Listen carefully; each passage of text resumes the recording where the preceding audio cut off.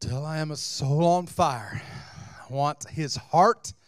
Uh, I want his passion, and I hope that you do as well because um, if we don't have passion and we don't have the heart of God, we're going to miss the whole thing.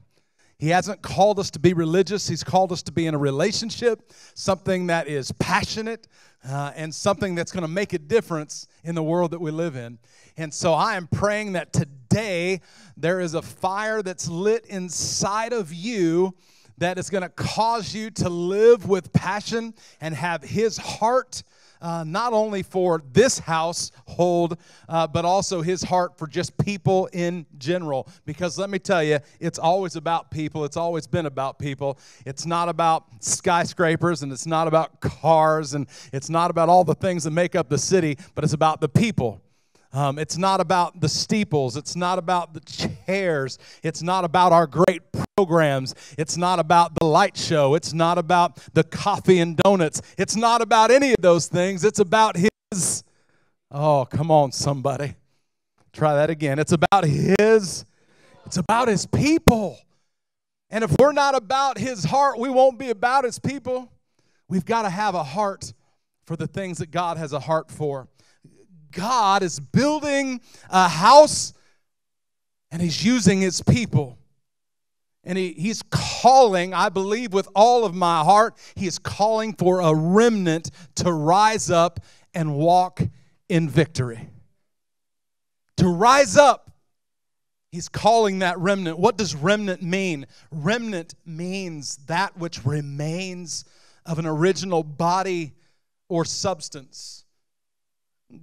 God's remnant people are they are very aware that they have been saved by grace and not by anything that they have done on their own merit. You did not do anything to make it to the kingdom, but it was God who loved you and came searching for you and sent Jesus to die on the cross for you because he loves you. Romans 11:5 says this, so to pre, so too at the present time there is a remnant chosen by grace. The remnant are a people of unshakable integrity who love truth and are totally honest. That doesn't mean that we always make the greatest decisions.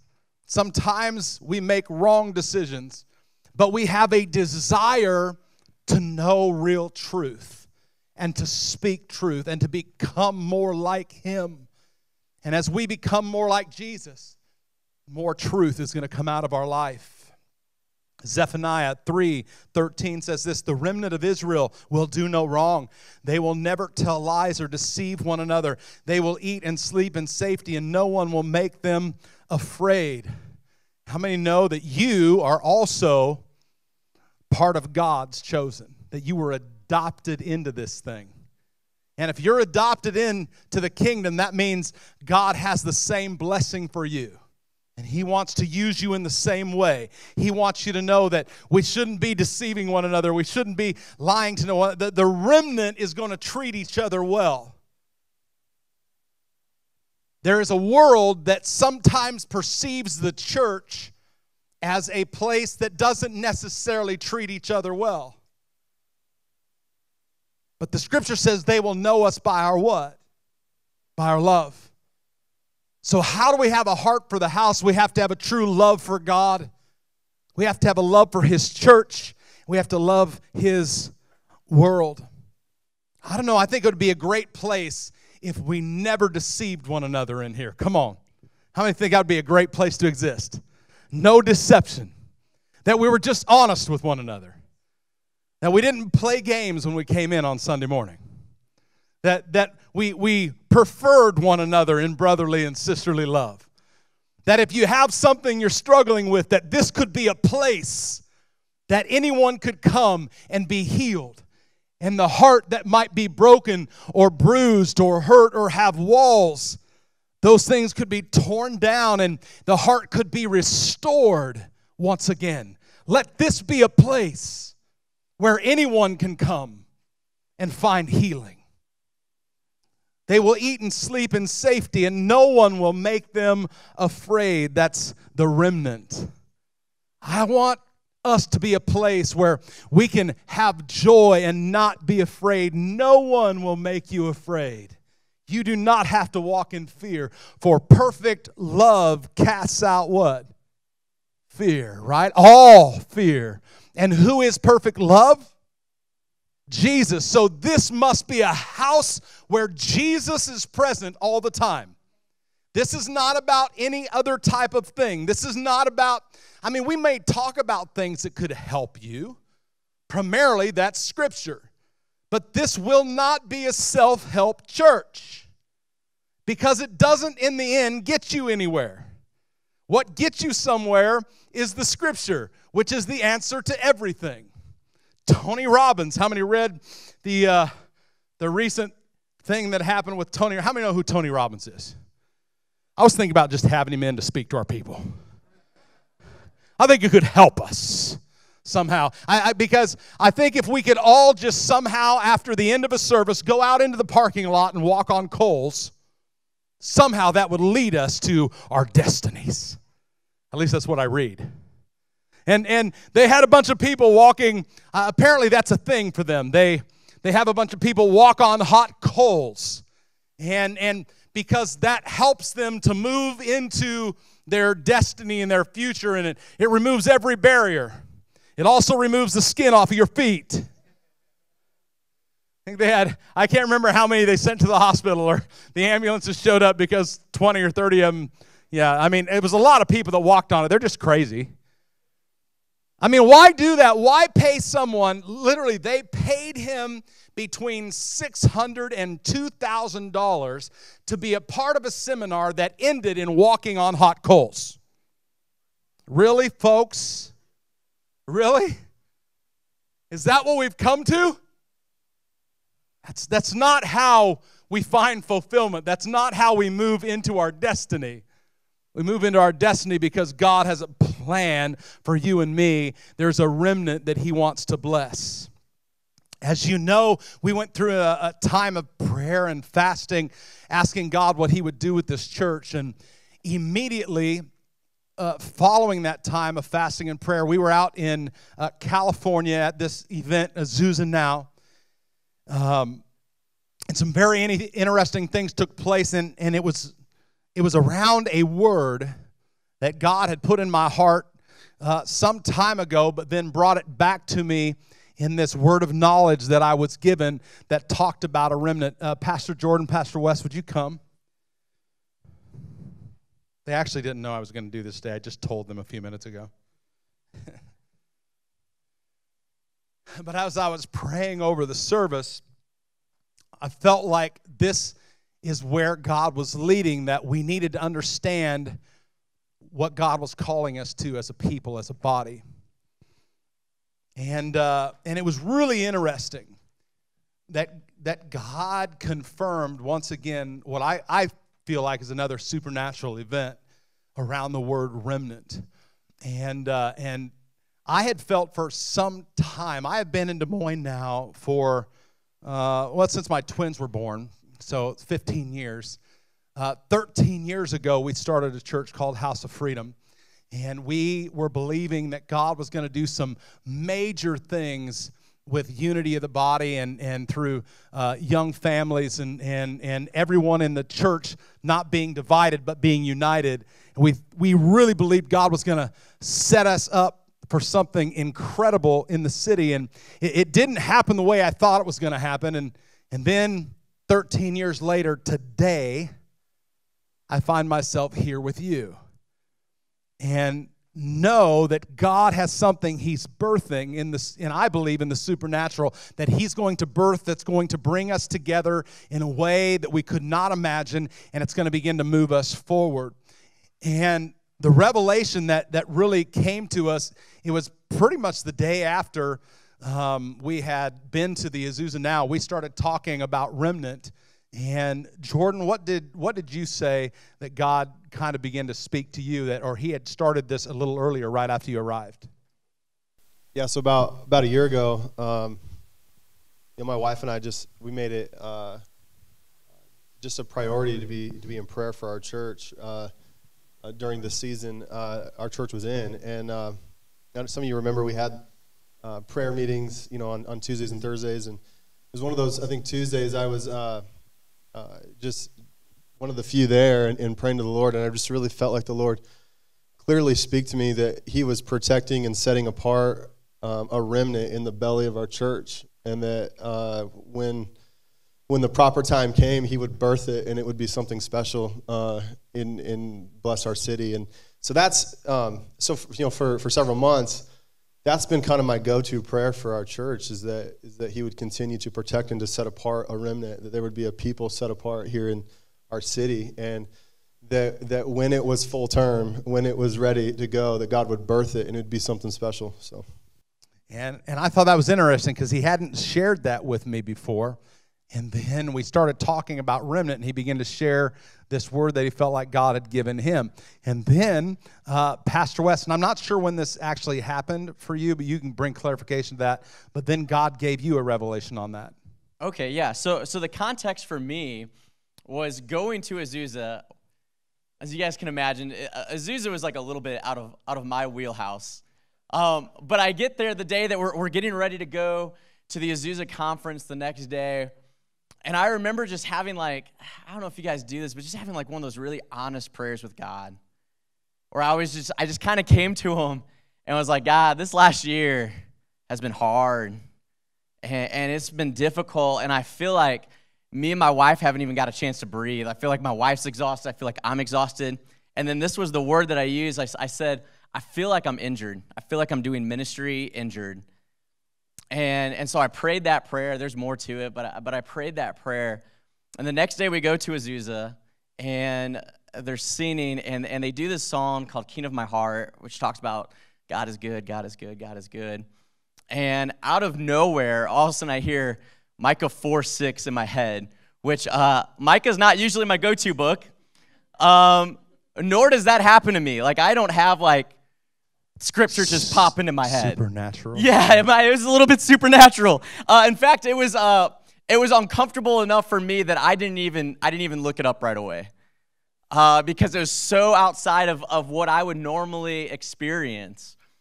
And sometime later, I I, I open up my Bible and I, I go to Micah 4 6, and it says this. It says, On that day, this is the Lord's declaration I will assemble the lame and I will gather the scattered, those that have been injured. Man, don't tell me God doesn't love you. Are you kidding me? It says, I will gather those that have been injured, I will make them into a remnant. Those far removed into a strong nation, then the Lord will rule over them in Mount Zion from this time on and forever. So then obviously I come to Brett. Yeah.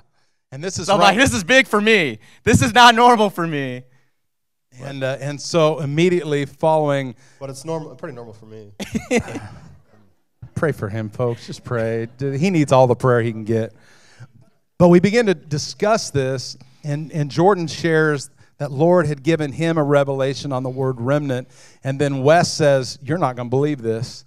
That God just dropped this scripture into my into my heart during this event, and he read it, and and it again confirmed the word remnant. Mm. And then I said, Well, guys, you need to, to hear this because the word that God gave me, uh, the prophetic word that we had talked about last week, um, was in Genesis 45, 4 through 8. And it says this So Joseph said to his brothers, um, Come near to me, please.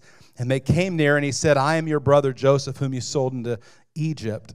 And now do not be distressed or angry with yourselves because you sold me here, for God sent me before you to preserve life. For the famine has been in the land these two years, and there are yet five years in which there will neither be plowing nor harvest. And God sent me before you to preserve for you a remnant on earth and keep alive for you many survivors. So it was not you who sent me here, but God. Now, I don't know about you, but that's another one of those uh, cases where there is no possible way that could be coincidence. That God would speak to all three of us individually on the word remnant out of different places. As we came together and began to share that, uh, we realized that revelation. Thank you, gentlemen. Now, so we're on the, the, the plane ride home. We get home at uh, 2 o'clock, one, or about 1 o'clock in the morning, I think. Uh, and I had forgotten, I was planning on sleeping in the next morning because I was exhausted from the trip. And then I realized I was supposed to be at the Capitol building that morning. And so uh, I got up and, and headed to the Capitol that morning, and we were going to uh, begin to pray over uh, just, just the House of Representatives and, and our senators and just, just the people there. We wanted to lay a foundation of prayer there. And the gentleman that was heading up that facilitation, he brought us together that morning. And the first thing he says when he begins to share with us, he said, It's amazing to see what God is doing in the state and how he's giving us favor to begin to pray and serve well. And he said, I believe that God is raising up a remnant of churches. I'm like, No, you did not just say that. It's impossible. Yet it's possible that God could raise up a remnant of people, remnant of churches that he could uh, energize and revive and fill their heart with His heart. You are the church. And wherever you've come from and whatever your situation, I believe that He's raising up a remnant that's going to walk in and see God do things that we haven't seen before, and it's going to be better than ever. Uh, Austin, would you come? So, so uh, I think it was the following Wednesday maybe. Maybe maybe the next day because i got back i think we got back on uh, early tuesday morning wednesday.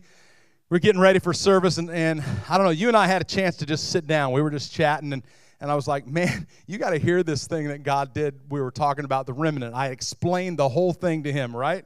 This isn't just about this sermon. I didn't just come up with this just now. Okay i just want to confirm that.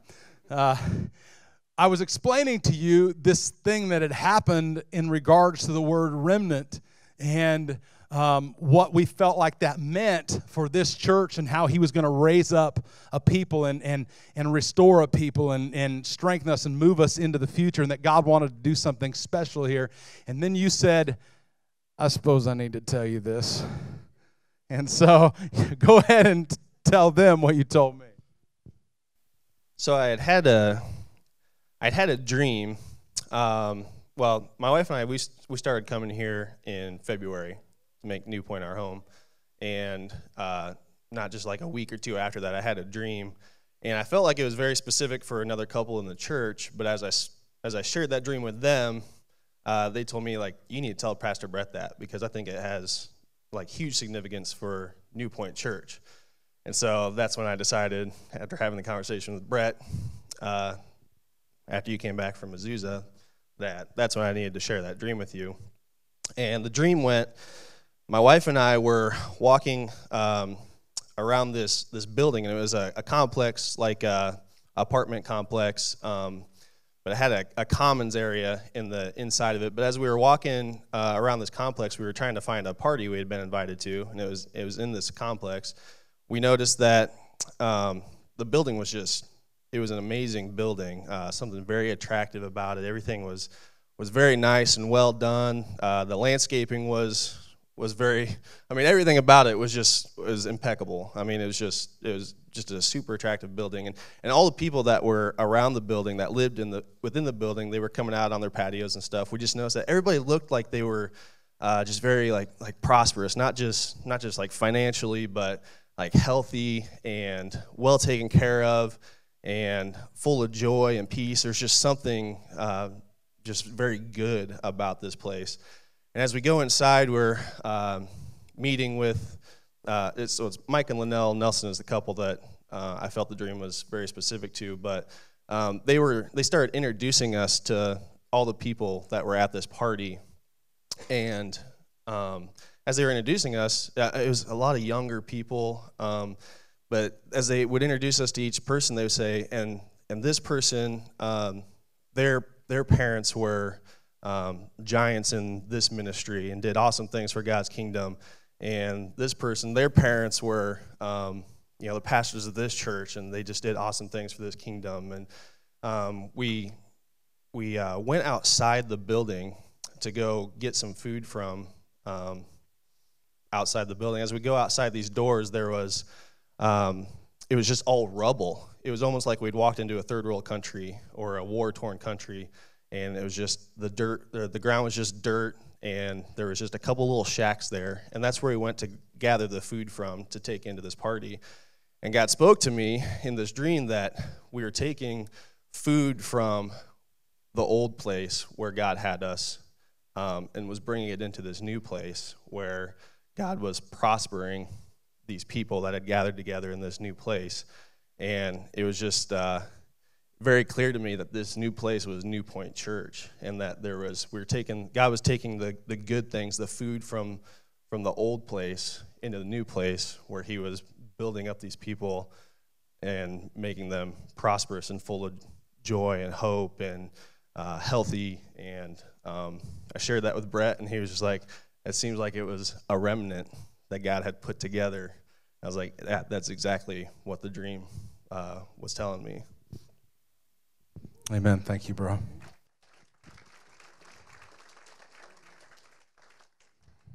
So, here's what I believe I believe God had a plan for New Point Church long before any of us ever imagined it.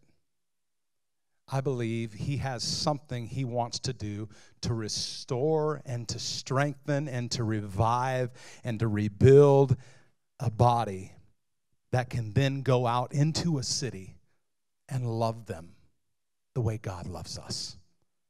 That we can look and say, Look what he did. Look how he restored me, my hope, my joy that this would not be a place where there was any kind of division or any kind of uh, turmoil, but this would be a place marked by God's love.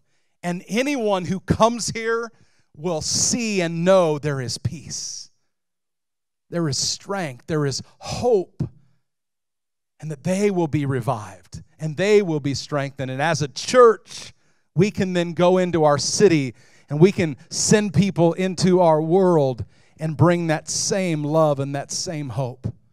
This vision is very simple. We must love God with all of our heart and our soul and our mind and our strength and everything that's in us. We must love God. Now, over the next several weeks, we're going to break these things down. But the question would be is if there are any barriers in your life that keep you from fully loving Him, and there could be. Uh, there could be some barriers, maybe some things you've been through that would keep you from being completely open to letting God consume your whole life and to use you the way He wants to. There could be barriers. And I'm praying that every person that calls this place home in the next four weeks, that any barrier that would be in your way will be broken down and you will be free to love God like you've never loved Him before. Amen. And I am praying that the next portion of that vision that you will love his church. Not the Tuscany Event Center. That's not his church. It won't be a future building that we reside in. His church will be and has always been you. And when you come on Sunday or you come on Wednesday, that there is something inside of you that says, I got to get to one of my fellow church people because I got to love them. I need to encourage them. I need to find out what God's done in their life this week, that this will be a place where we love His church well. But not just here that we will also lead in loving His church around the city because His church isn't just New Point. Amen? Now, New Point is where you have been called, where God has placed you to love people here well, and whoever comes in the doors, God wants you to love them well and encourage them. But there are other churches all across the city people that make up other tribes, if you will. But we're all part of the same team, amen? And so I want New Point Church to lead the way in encouraging and loving other bodies in this city. That we would say, if there's an opportunity to partner, we're going to partner. Just like this uh, one, uh, the, the garage, what, what do we call that? The garage, do one thing. How many churches are a part of that?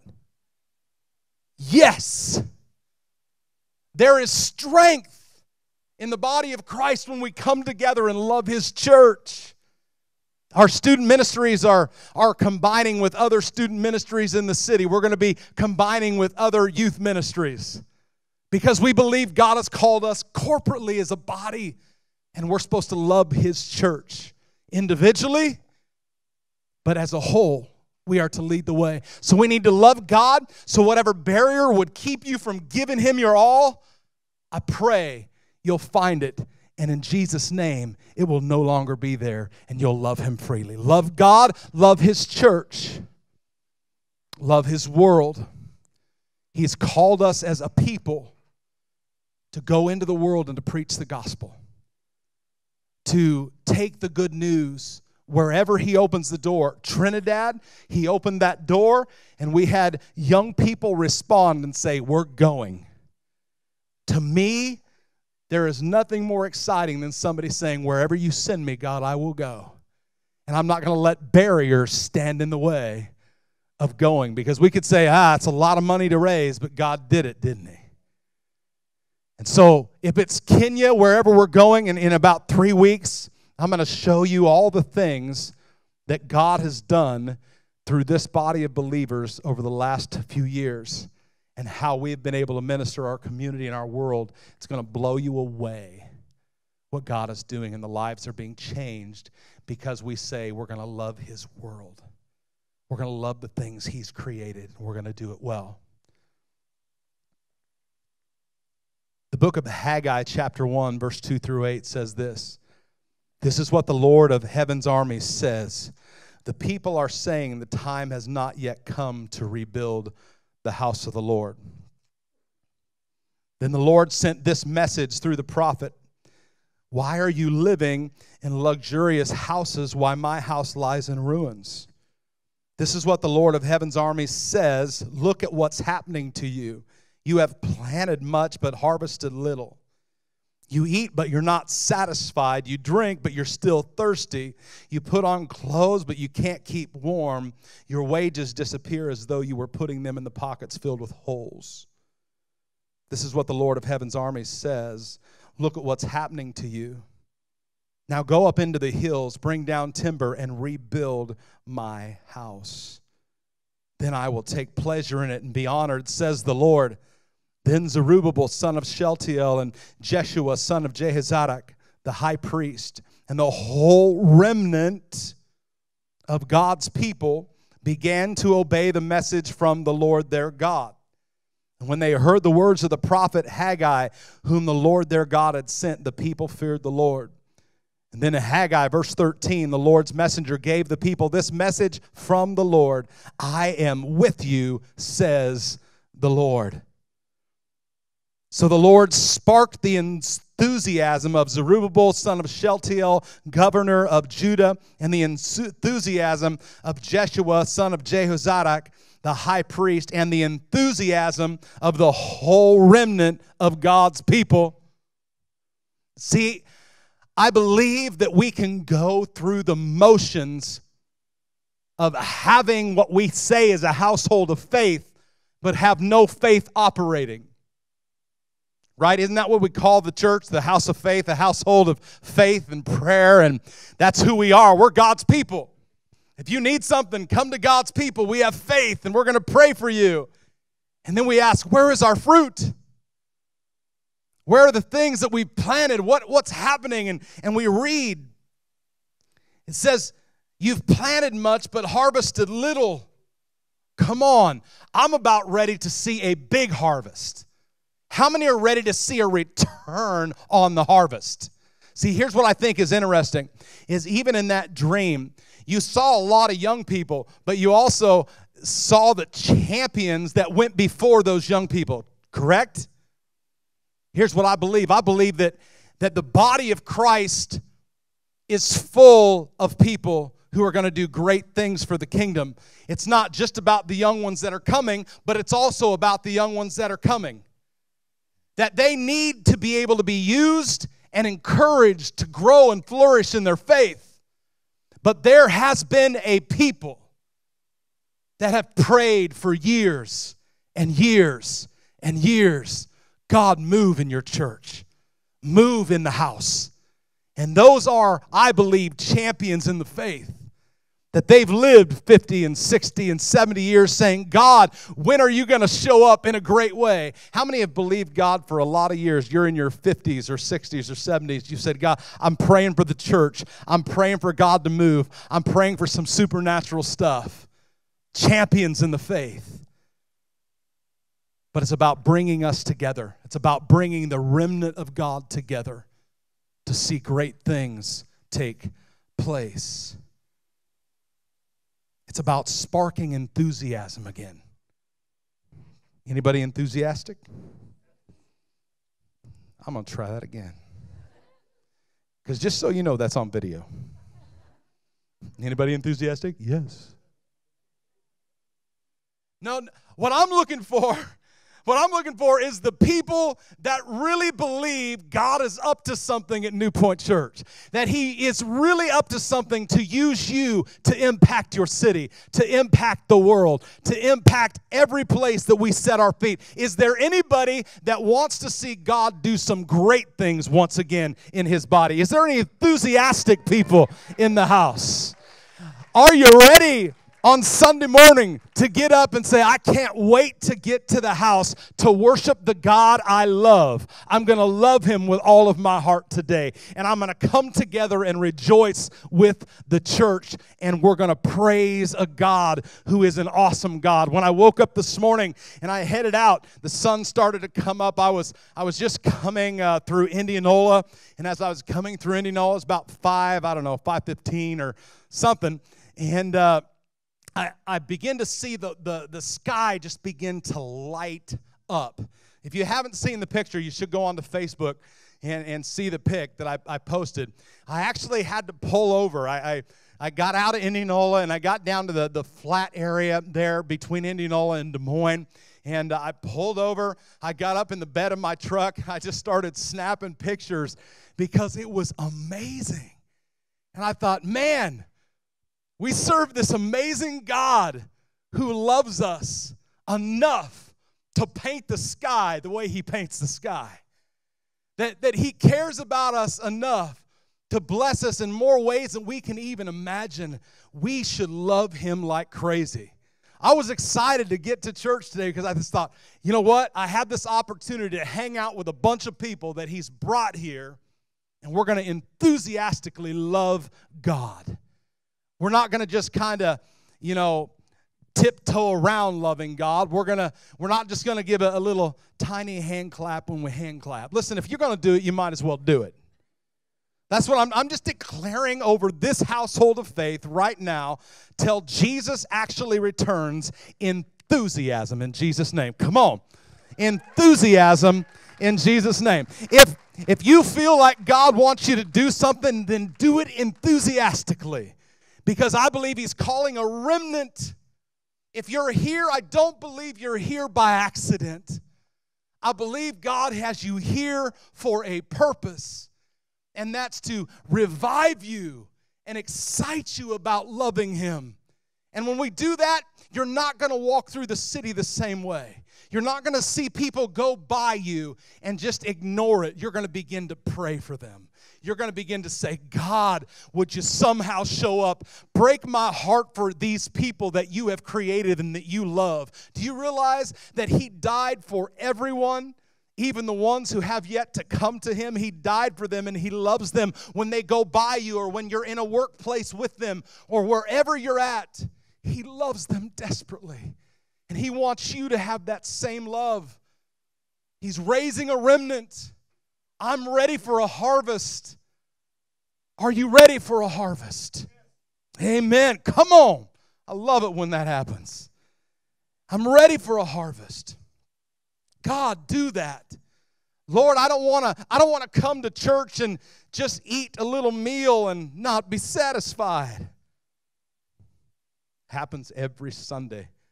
Somebody walks in to a house of faith and they get just a little bite. They didn't really come to eat.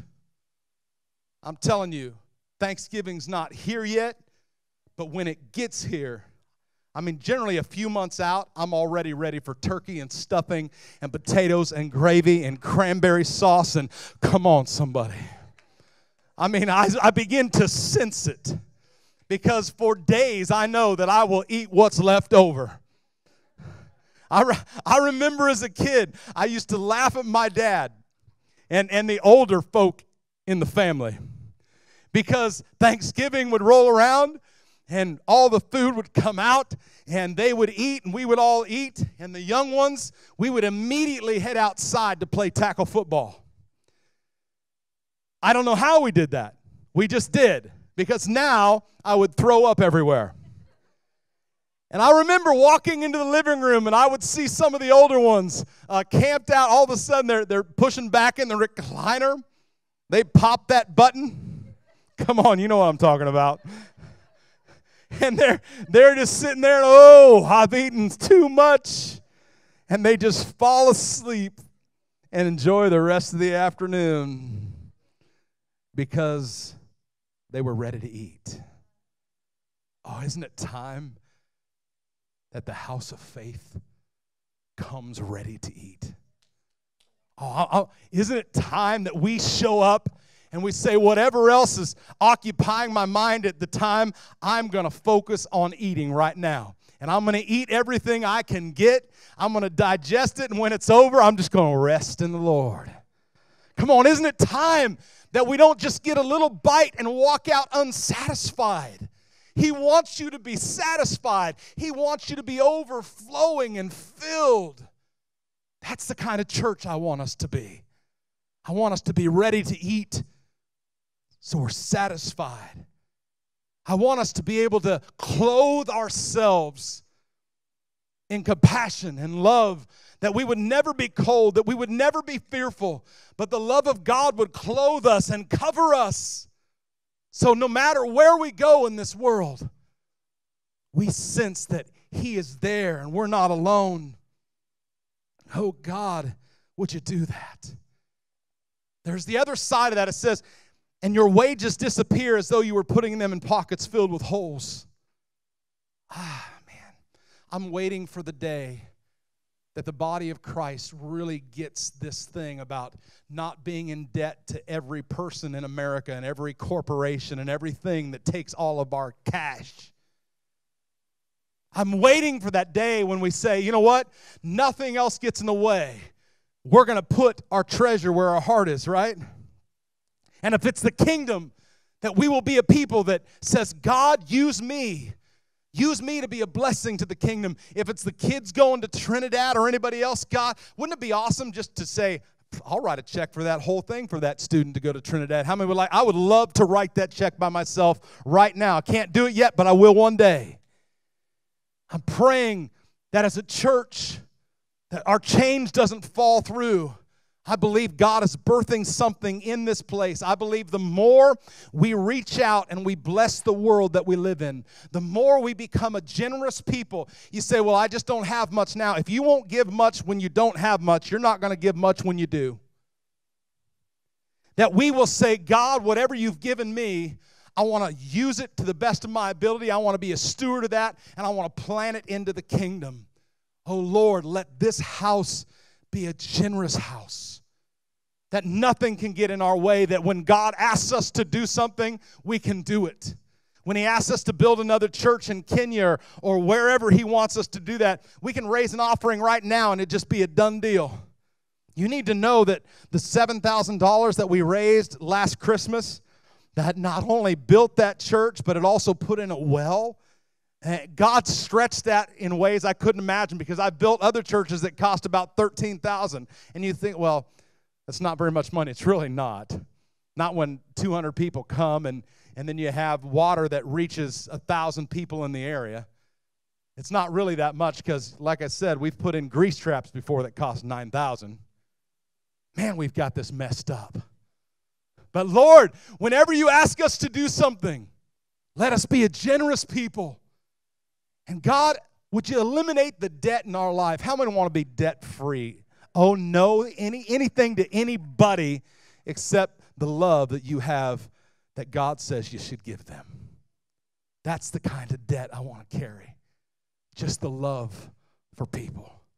God, let us be generous. So the Lord sparked the enthusiasm of the whole remnant of God's people, and they began to work on the house of their God, the Lord of heaven's armies. Haggai, chapter 2, verse 2 through 9. Speak now to Zerubbabel and to Joshua. I'm going to kind of move through this quick. Who is left among you who saw this house in its former glory? And how do you see it now? Is it not as nothing in your eyes? Yet now be strong, declares the Lord. Who is among you that have seen the former? Now, I'm not just talking about this church, but there are some people who've been around for a long time. How many been around for a while? You've been around this people for a while. And you've seen some things and you're like, oh Lord, we just remember how it used to be. But see, God is doing a new thing. And some of you have never been a part of this house of faith, but you are now. But you remembered something. There was a day that you thought, man, if it could just be like that again. How many have had a time in your life where you just thought, if it could just be like that again? Guess what? It's going to be better. It's going to be better. This is what the scripture says. Yet now be strong, O Zerubbabel declares the Lord. Be strong, O Joshua.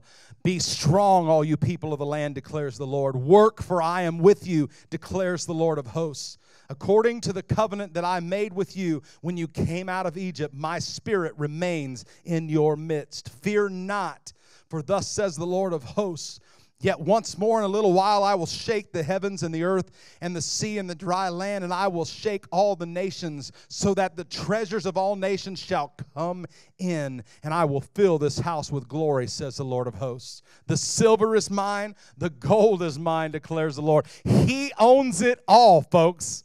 How many know He owns it all?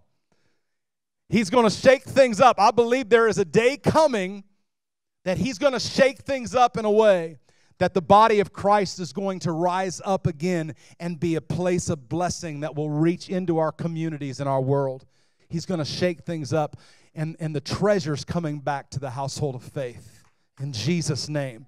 It's not something we're going to wait on everybody else to provide. God wants us to provide for people. He wants us to love and care for people. And then it says this the latter glory of this house shall be greater than the former says the Lord of hosts.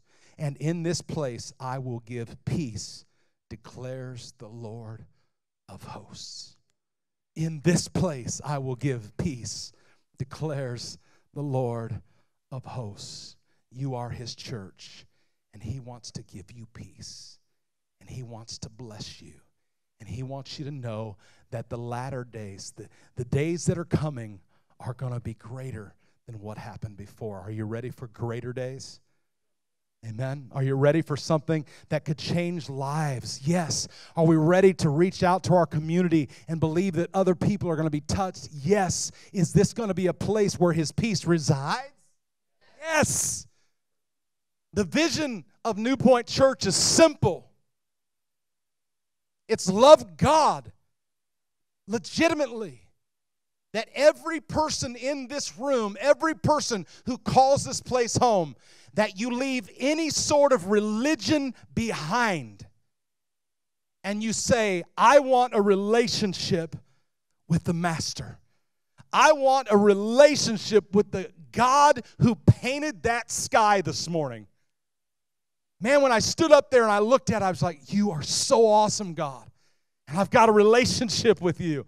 You are the creator You've got it in control. And I love you. God, let me love people, regardless of what people might do to me. How many have had some issues in your life with people that have done some stuff to you? That should be about every hand. Come on, you're not you're not fooling me. You've had some things in your life go down where people began to be the focus of your pain and your past and your stuff, and you didn't let it go. You get a big enough love for God and realize that His opinion about you is the only thing that ever matters. What God says about you now is all that matters. And if you got your Father's approval, what can anybody do to you? Absolutely nothing. It wasn't you who brought me here, brothers. You didn't send me here, even though you threw me into the pit, even though you might have left me for dead, even though I was wrongly accused, all of those things that you may have faced. But God brought you here. That a remnant might be saved. There's somebody in your life that needs a remnant church that understands who God is, that has God on the line. There's somebody in your life that needs you, a remnant church, to rise up so someone might be saved, so someone might find shelter. Are you ready to be a remnant church? It's not just about the people that used to go here. It's every last one of us are a remnant church God wants to use that some might be saved. What if just everybody here was able to minister to one person effectively in the next year? Come on, let's just talk about that. Well, this room won't be big enough. Yeah. What, what if we minister to two? Well, we'll have to have two services and then three services. Why? Not because it's about us becoming a mega church. There's enough mega churches.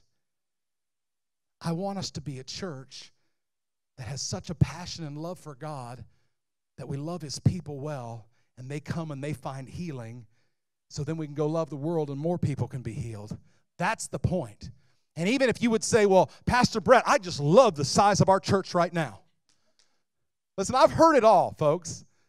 Well, we don't want to be a big church. Well, if your reason for not being a big church, and, and by the way, we're a good sized church still. But if, if the reason for not becoming a big church is because we just like the size of ours now and we're comfortable, then we're missing the point, folks. Because if there's one person that has not sensed the love of Christ, if there's one person that isn't free, if there's one person that hasn't come inside from the barren wilderness and found peace, then we're not big enough. We're not big enough. So let us, his people, Love God well. Say, love God. Let his people love his church. Say, love his church. And let his people love his world. Say, love his world. Are you ready for that? Let's do it. Let's do it. We're going to break those things down loving God, loving his church, and loving his world over these next three weeks. It's going to be exciting. I, pr- I pray that you are filled to overflowing we're going to become a people that are a generous people, a loving people, a passionate people. Enthusiastic. Enthusiastic. Ushers, would you come? We're going to take up our tithe and offering. I'm going to close with this video as you give. This, even though this is an older video, uh, I don't know if there's been a song sung like this in a while. I mean, this, they killed this. It's called Let Freedom Ring. Um, and every time I listen to it, I get chills because of, of just the power of the message. And I pray that wherever you go today and tomorrow, all the masses of people that you're going to see that are going to stare at a sky waiting for the fireworks to show up, that you will look at those masses of people and say, God, how can we reach them? How can we love them? How can we serve Him? Amen. Father, as we give right now and we pray over this household of faith, that we will all have a heart for the house, that we will have your heart, that we will love you, love your church, and love your world, that we will be enthusiastic every week, every day till you return that we will never be looked at as a body of believers that are boring, but excited about all the blessing that you have bestowed upon us, that we could be a blessing. Thank you for this gift that we're about ready to receive from each of your church, your remnant church, that you're going to use to impact the world we live in. And as we give and we give joyfully, I pray, God, your blessing will be upon it and blow us away with all the things you're about to do to build your house. In Jesus' name, amen.